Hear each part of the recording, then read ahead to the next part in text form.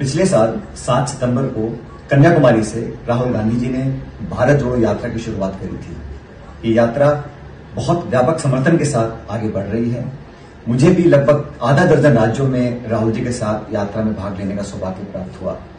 इस यात्रा का उद्देश्य है कि देश के अंदर जो व्यापक घृणा, हिंसा, प्रतिशोध, टकराव की स्थिति पैदा हुई है, उसको खत्म करना, सब लोगों को साथ जोड़ना, सबको साथ लेकर आगे बढ़ना।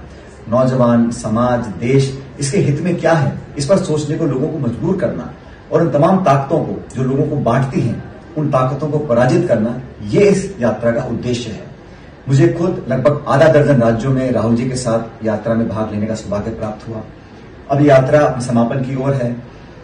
आखिरी पड़ाव में मैं आप सबसे करबद्ध निवेदन करता हूँ कि इस यात्रा का हिस्सा बने। ये एक ऐतिहासिक यात्रा है, एक साहसिक यात्रा है और इस यात्रा में लाखों लोग जुड़े हैं। आप इस यात्रा का हिस्सा बने, इतिहास का हिस्सा बने। धन्यवाद। इतनी भीड़, चाहे वो सुबह के छः बजे हों, कड़ाके की सर्दी, एक दिन तो इतनी ठंड थी कि हमारे सबके हाथ ठर्रा रहे थे, काँप रहे थे। छोटे छोटे बच्चे, बिना ज़्यादा कपड़ा पहने, सड़क पर आकर राहुल जी से गले मिलते नज़र आए।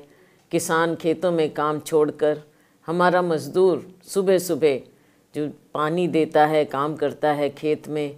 राहुल जी की एक झलक के लिए कहीं ऊपर सड़क पर खड़ा होता था तो कहीं छत पर खड़ा होता था। महिलाएँ शॉल ओढ़े, ठिठुरती हुई, राहुल जी के गले लग गई। राहुल जी ने उन्हें गले लगाया।